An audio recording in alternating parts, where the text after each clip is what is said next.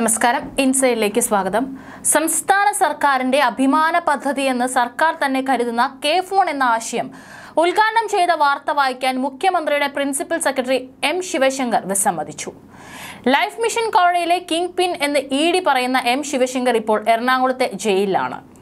ചൊവ്വാഴ്ച രാവിലെ മുൻ ഐ എ എസ് ഉദ്യോഗസ്ഥൻ എന്ന നിലയിൽ അദ്ദേഹത്തിന് ജയിലിൽ നൽകാറുള്ള മനോരമ മാതൃഭൂമി പത്രങ്ങൾ വായിക്കാനാണ് എം ശിവശങ്കർ വിസമ്മതിച്ചത്. ജയിലിൽ ആശയവിനിമയത്തിനെത്തിയ ഉദ്യോഗസ്ഥരോട് തനിക്കിന്ന് പത്രം വേണ്ടെന്നാണ് അദ്ദേഹം പറഞ്ഞത്. താൻ ജയിലിൽ കിടക്കുമ്പോൾ തന്റെ മനസ്സിൽ നിന്ന് ഉയർക്കൊണ്ട പദ്ധതി താൻ ആർക്കും വേണ്ടി ബലിയാടായോ? അയാൾ ഉദ്ഘാടനം ചെയ്ത വാർത്ത വായിക്കാൻ ശിവശങ്കറിന് തീരെ താല്പര്യം തോന്നിയില്ല. തിങ്കളാഴ്ച വൈകിട്ട് കെ ഫോണിന്റെ ഉദ്ഘാടനം മുഖ്യമന്ത്രി പിണറായി വിജയൻ നിർവഹിച്ചപ്പോൾ തന്നെ ഇക്കാര്യം ശിവശങ്കർ അറിഞ്ഞിരുന്നു. പത്രങ്ങളിൽ നിന്നുള്ള വാർത്തകൾക്ക് പുറമെ ജയിലിൽ ഉദ്യോഗസ്ഥരിൽ നിന്നുള്ള വിവരങ്ങളും ശിവശങ്കറിന് ലഭിച്ചിരുന്നു. കെ ഫോൺ ഉദ്ഘാടനത്തിന് മുൻപ് തന്നെ കണക്റ്റഡ് വിത്ത് കെ ഫോൺ എന്ന ടാഗ് ലൈനിൽ എം ശിവശങ്കറിന്റെ ചിത്രങ്ങൾ സഖാക്കൾ ഫേസ്ബുക്ക് പേജിൽ ടാഗ് ചെയ്തിരുന്നു. സഖാക്കൾക്ക് പുറമെ ഇടത് ബുദ്ധിജീവികളും ഇതേ കാര്യം ചെയ്തു.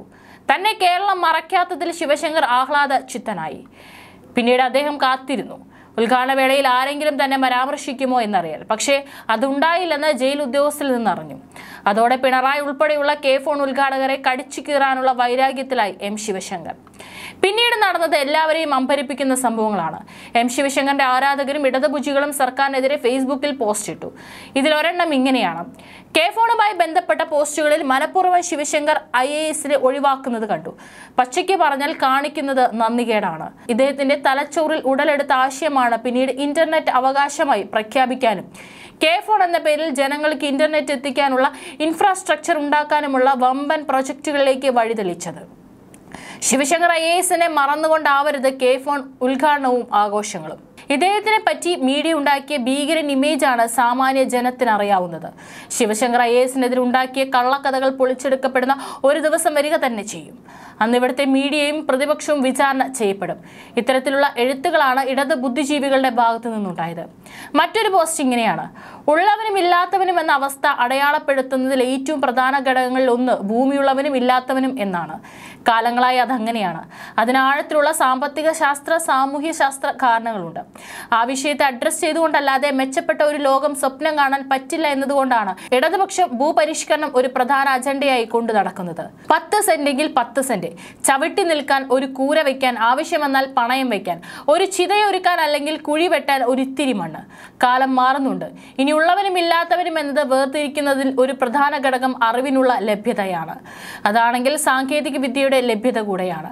ഇനി അങ്ങോട്ട് വേർതിരിവ് എന്നാൽ പ്രധാനമായും ഡിജിറ്റൽ ഡിവൈഡാണ് സാമ്പത്തികമായി പിന്നോക്കാവസ്ഥയിലുള്ള ഇരുപത് ലക്ഷം കുടുംബങ്ങൾക്ക് സൗജന്യമായും ബാക്കിയുള്ളവർക്ക് സൗജന്യ നിരക്കിലും ഇന്റർനെറ്റ് കണക്ഷൻ നൽകാനുള്ള ഒരു പദ്ധതിക്കാണ് കഴിഞ്ഞ ദിവസം ഔപചാരികമായി തുടക്കം കുറിക്കുന്നത്. ഇതിൽ പിഴവുകളും പിശകുകളും ഉണ്ടാകാം. കാലതാമസം ഉണ്ടാകാം. ഇടതുപക്ഷത്തിന്റെ പ്രഖ്യാപിത അജണ്ടയായിരുന്നിട്ടും സ്വന്തം സർക്കാർ ഉണ്ടാക്കി ഉടനെ തന്നെ അതിന് പണി തുടങ്ങിയിട്ടും ആയിരത്തി തൊള്ളായിരത്തി അൻപത്തി ഏഴിൽ തുടങ്ങിയ ഭൂപരിഷ്കരണ ശ്രമങ്ങൾ ഒന്നര പതിറ്റാണ്ടെടുത്തു കരയ്ക്കെത്താൻ എന്നോർക്കണം.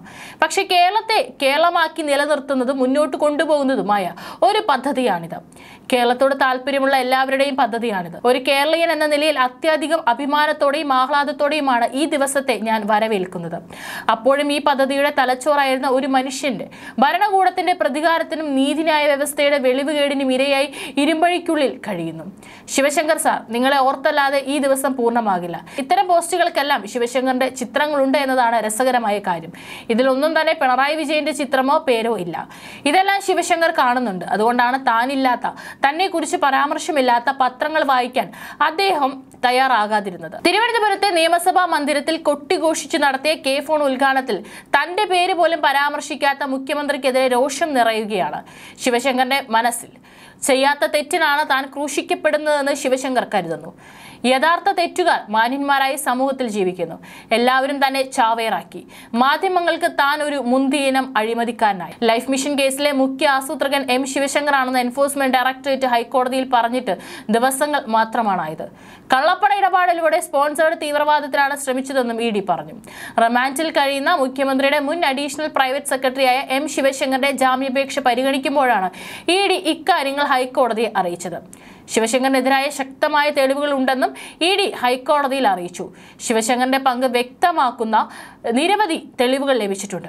എല്ലാ ആസൂത്രണത്തിന്റെയും കേന്ദ്രബിന്ദു ശിവശങ്കർ ആയിരുന്നെന്നും ഇ ഡി അറിയിച്ചു. അതേസമയം സ്വപ്നയുടെ ലോക്കറിൽ നിന്ന് പണം കിട്ടിയ സംഭവത്തിൽ രണ്ട് കേസുകൾ എടുക്കുന്നത് എങ്ങനെയെന്ന് കോടതി ചോദിച്ചു. അതിന് ഇ ഡിക്ക് മറുപടി ഉണ്ടായിരുന്നില്ല. നേരത്തെ ആരോഗ്യ പ്രശ്നങ്ങൾ ഉന്നയിച്ച് ജാമ്യം നേടിയ ശിവശങ്കർ തൊട്ടു പിന്നാലെ ജോലിയിൽ പ്രവേശിച്ചിരുന്നു. അതുകൊണ്ട് തന്നെ ആരോഗ്യ പ്രശ്നങ്ങൾ എന്ന വാദം നിലനിൽക്കില്ലെന്നും ഇ ഡി കോടതിയിൽ അറിയിച്ചു. ഒടുവിൽ ലൈഫ് മിഷൻ കേസിൽ ജാമ്യം നേടി മുഖ്യമന്ത്രിയുടെ മുൻ principal secretary M Sivasankar supreme കോടതിയിലെത്തി. എന്നാൽ അതും വിഫലമായി. വടക്കാഞ്ചേരിയിലെ ലൈഫ് മിഷൻ കേസുമായി ബന്ധപ്പെട്ട് തനിക്ക് ബന്ധമില്ലെന്ന് ശിവശങ്കർ ജാമ്യ ഹർജിയിൽ വ്യക്തമാക്കി. പദ്ധതിക്കായി യൂണിടാക്കിനെ തെരഞ്ഞെടുത്തതിൽ ഉൾപ്പെടെയുള്ള തീരുമാനങ്ങൾ യു എ കോൺസുലേറ്റിന്റേതാണെന്നും ഹർജിയിൽ ശിവശങ്കർ ചൂണ്ടിക്കാട്ടി. തന്റെ പേരിൽ ഉന്നയിക്കപ്പെട്ടിട്ടുള്ള ആരോപണങ്ങളെല്ലാം തള്ളുകയാണ് ശിവശങ്കർ ചെയ്തത്.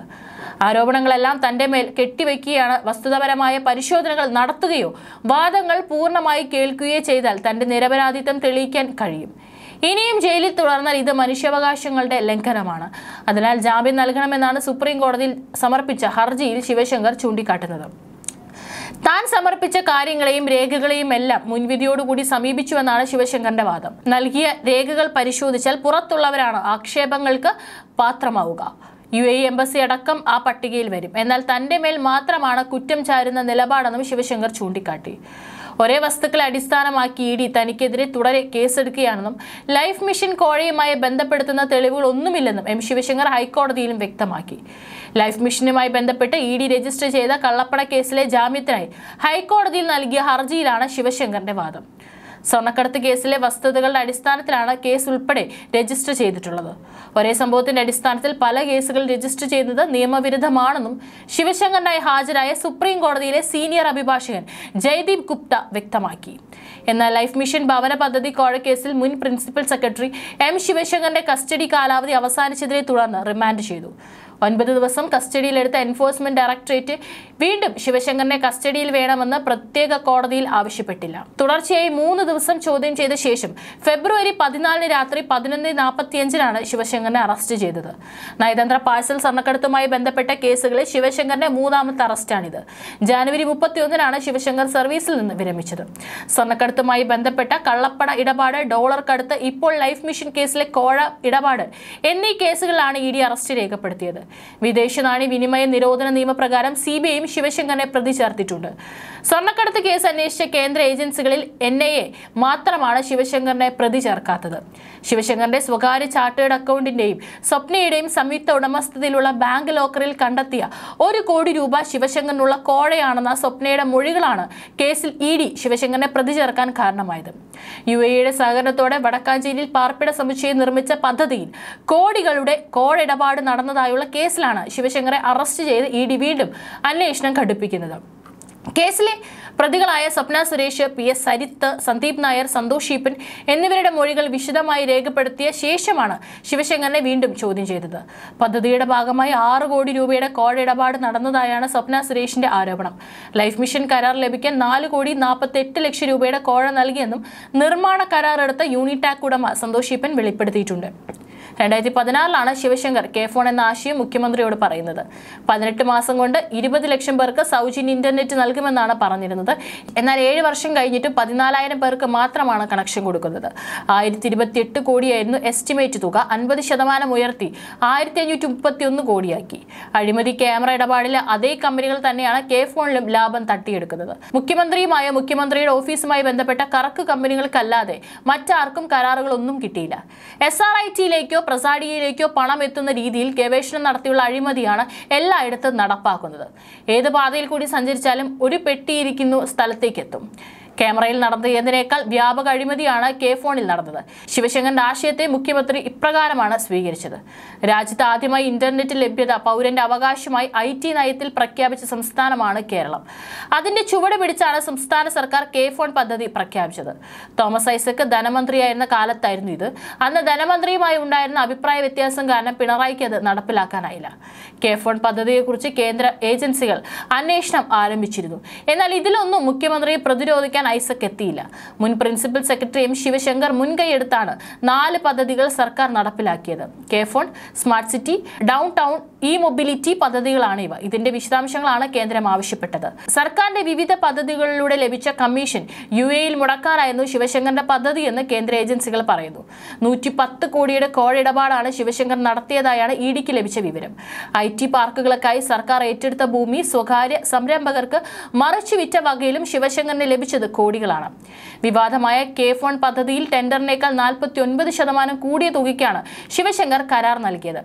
ആയിരത്തി ഇരുപത്തിയെട്ട് കോടിക്ക് ടെൻഡർ വിളിച്ച പദ്ധതിക്ക് ആയിരത്തി അഞ്ഞൂറ്റി മുപ്പത്തിയൊന്ന് കോടിയുടെ കരാർ. മന്ത്രിസഭാ യോഗത്തിന്റെ തീരുമാനത്തിന് കാത്തു നിൽക്കാതെ നൽകാൻ ശിവശങ്കർ കാണിച്ച ധൃതിയും എൻഫോഴ്സ്മെന്റ് പരിശോധിച്ചിരുന്നു. സർക്കാർ കമ്പനികൾ മത്സരത്തിനുണ്ടായിരുന്നിട്ടും അവയെ മറികടന്നാണ് സ്വകാര്യ കമ്പനിക്ക് കരാർ നൽകിയത്. ഇതെല്ലാം സി എം രവീന്ദ്രന്റെ അറിവോടെയായിരുന്നു. കെ സി ബിയുടെ നേതൃത്വത്തിൽ നടപ്പിലാക്കേണ്ടിയിരുന്ന പദ്ധതിയാണിത്. എന്നാൽ ശിവശങ്കർ സ്വന്തം താൽപര്യഫലമായി സ്വകാര്യ കമ്പനിക്ക് കെ ഫോൺ നൽകിയെന്ന് കരുതാനാവില്ല. അക്കാലത്ത് ശിവശങ്കർ എല്ലാം ചെയ്തതും മുഖ്യമന്ത്രിയുടെ താൽപര്യം കണക്കിലെടുത്ത് മാത്രമാണ്. വർഷങ്ങൾക്ക് ശേഷമാണ് മരുമകളുടെ കുടുംബമെല്ലാം കഥയിലേക്ക് വരുന്നത്. മന്ത്രിസഭാ യോഗം തീരുമാനിക്കുന്നതിന് മുൻപ് കരാർ സ്വകാര്യ കമ്പനികൾ ഉൾപ്പെടെ കൺസോഷ്യത്തിന് മറച്ചു നൽകിയതിന് പിന്നിൽ ചില സി നേതാക്കളും അവരുടെ കുടുംബാംഗങ്ങളും കൈപ്പറ്റിയത് കോടികളെന്നും ഇടിക്ക് സൂചന ലഭിച്ചിരുന്നുവെങ്കിലും ഒന്നും സംഭവിച്ചില്ല. മന്ത്രിസഭാ യോഗം വിഷയം പരിഗണിക്കുന്നതിന് മുൻപ് കരാർ സ്വകാര്യ കമ്പനിക്ക് മറിച്ചു നൽകിയത് മുഖ്യമന്ത്രിയുടെ അറിവോടെയാണെന്ന സംശയത്തിലാണ് ഇ ഡി എത്തിയത്. ടെൻഡർ തുകയേക്കാൾ നാൽപ്പത്തി ഒൻപത് ശതമാനം കൂട്ടി സ്വകാര്യ കമ്പനിക്ക് കരാർ നൽകിയിരുന്നു എന്നാണ് അന്വേഷണ സംഘത്തിന് ലഭിച്ച വിവരം. ആയിരത്തി ഇരുപത്തിയെട്ട് കോടിയായിരുന്നു ടെൻഡർ എന്നാൽ കരാർ നൽകിയത് ആയിരത്തി അഞ്ഞൂറ്റി എൺപത്തി ഒന്ന് കോടിക്ക്. ഇതിന്റെ കമ്മീഷന്റെ ആദ്യ ഗഡുവായി മുപ്പത് കോടി ദുബായിൽ ശിവശങ്കർ കൈപ്പറ്റിയതായും കേട്ടിരുന്നു. പദ്ധതിയുടെ പൂർണമായ മേൽനോട്ടം മുഖ്യമന്ത്രിയുടെ നിർദ്ദേശപ്രകാരം ശിവശങ്കർ ഏറ്റെടുത്തെന്നാണ് ഇ ഡിക്ക് ലഭിച്ച വിവരം. കിഫ്ബിയിൽ നിന്ന് എണ്ണൂറ്റി ഇരുപത്തി മൂന്ന് കോടിയാണ് പദ്ധതിക്കായി അനുവദിച്ചിട്ടുള്ളത്. കെ എസ് ബിക്ക് പദ്ധതി നടപ്പിലാക്കിയിരുന്നെങ്കിൽ നിരവധി പേർക്ക് ജോലി ലഭിക്കുമായിരുന്നു. മന്ത്രിസഭാ യോഗത്തിന്റെ പരിഗണനയ്ക്ക് ഇത്തരം വിഷയങ്ങൾ എത്തിയാൽ അത് സഹമന്ത്രിമാർ അറിയും. എന്നതുകൊണ്ടാണ് മന്ത്രിസഭയിൽ നിന്ന് വിഷയങ്ങൾ പിണറായി മറച്ചുവെച്ചത്. തോമസ് ഐസക്കിനെ പോലുള്ള മന്ത്രിമാരെ പിണറായിക്ക് ഭയമായിരുന്നു എന്നാണ് കേൾക്കുന്നത്. പല വൻകിട പദ്ധതികളും മന്ത്രിസഭാ യോഗത്തിന്റെ പരിഗണനയ്ക്ക് വരുന്നതിന് മുൻപ് ശിവശങ്കർ നടപ്പിലാക്കിയത് പിണറായിക്ക് വേണ്ടിയായിരുന്നു. കേരള വൈദ്യുതി ബോർഡും കേരള ഐ ടി ഇൻഫ്രാസ്ട്രക്ചർ ലിമിറ്റഡും ചേർന്ന് ആയിരത്തി ഇരുപത്തിയെട്ട് കോടി മുതൽ മുടക്കിൽ സ്ഥാപിക്കുന്ന ഒപ്റ്റിക് ഫൈബർ കേബിൾ ശൃംഖലയാണ് ഈ പദ്ധതിയുടെ അടിസ്ഥാനം. രണ്ടായിരത്തി പതിനാറിൽ രൂപമെടുത്തതാണ് ഈ പദ്ധതി. കെ എസ് സി ബിയുടെ മുൻ ചെയർമാനാണ് ശിവശങ്കർ. അദ്ദേഹത്തിന്റെ താല്പര്യം പദ്ധതി കെ എസ് സി ബിക്ക് നൽകുന്നതായിരുന്നു. പന്ത്രണ്ട് ലക്ഷം ബി പി എൽ കുടുംബങ്ങൾക്ക് സൗജന്യമായി നൽകുന്നു എന്നതാണ് സർക്കാർ മുന്നോട്ട് വയ്ക്കുന്ന മുഖ്യ ഘടകം. മറ്റുള്ളവർക്ക് മാസം എത്ര തുകയാവുമെന്ന കാര്യം നിശ്ചയിച്ചിട്ടില്ല. സംസ്ഥാനത്ത് മുപ്പതിനായിരത്തി നാനൂറ്റി മുപ്പത്തെട്ട് സർക്കാർ ഓഫീസുകളാണ് കെ ഫോണിന്റെ പരിധിയിൽ വരുന്നത്. അമ്പത്തിരണ്ടായിരത്തി എഴുന്നൂറ്റി നാൽപ്പത്തി ആറ് കിലോമീറ്റർ കേബിളുകൾ വഴിയാണ് കെ ഫോൺ സർവീസ് ലഭ്യമാക്കുക. ഈ ഗവേണിംഗ് രംഗത്തെ നട്ടലായി കെ ഫോൺ മാറുമെന്നാണ് സർക്കാർ പ്രതീക്ഷ. ഇതാണ് ശിവശങ്കറെ വേദനിപ്പിക്കുന്നത്. അതുകൊണ്ടാണ് അദ്ദേഹം ഇങ്ങനെ പറഞ്ഞത്. U to Brutus